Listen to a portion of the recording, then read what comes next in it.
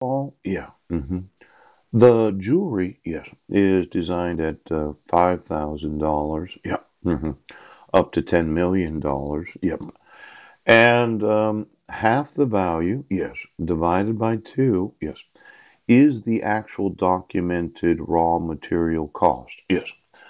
That means that you could always melt down all your jewelry and you know it's worth 50% of what you paid for it. Now, a lot of designers, they like name recognition and they would want you to buy uh-huh, their designs because of the value, yes, of the designer. This woman, yes, seems to be recognized as a jewelry designer. Oh. And there's something about name recognition where you would want to have your name on the jewelry. Now, this is really nice in style awards. Yes. hmm A lot of women, oh, look at, there's an earring right there. Who's that? Oh.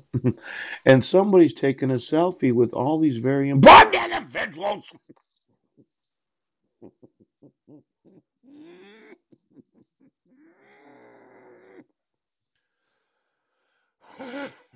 Now, I know you look so beautiful.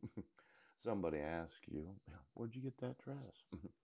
It's from the early 1900s. It's Americana. Yeah. What do you have underneath it? Don't ask me that. That jewelry you're wearing just really looks good on you. It goes with what you're wearing. Yes. And more importantly, it goes with the lingerie that you have underneath the dress. Oh, a lot of women, if they're able to remove their outerwear, yep, they feel.